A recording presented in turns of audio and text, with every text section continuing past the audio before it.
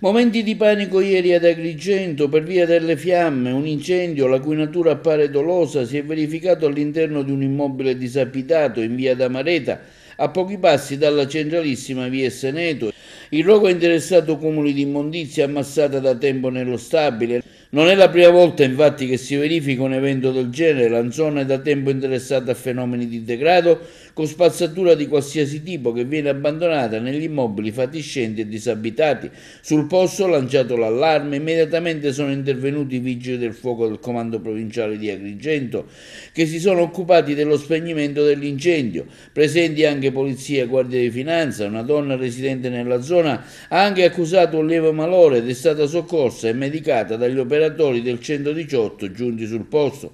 Ricordiamo che qualche settimana fa era stato il Coda Consigliere Agrigento a lanciare l'allarme di degrado sollecitando il comune e l'ASP della città di effettuare sopralluoghi e ordinare la bonifica dei luoghi, un appello purtroppo inascoltato visto che ancora oggi per la ennesima volta si è verificato l'incendio